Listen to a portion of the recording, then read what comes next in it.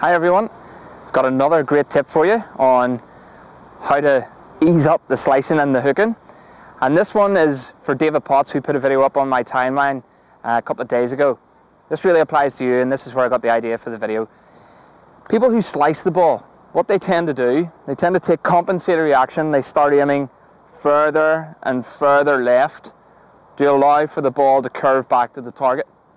But really it's one of the worst things you could do because the further left you start aiming, the more your club's travelling left, the more likely you are to slice the ball. The best thing you can do is try and aim just slightly left of your target.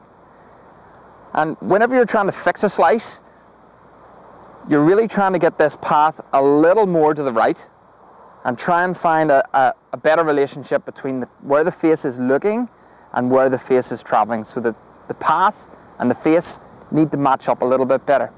And if you start aiming further and further left, you're only exaggerating those lines and you're, you're dooming yourself to huge slices. You're either going to hit a massive pull or a huge slice. And the same kind of thing goes for those who hook the ball.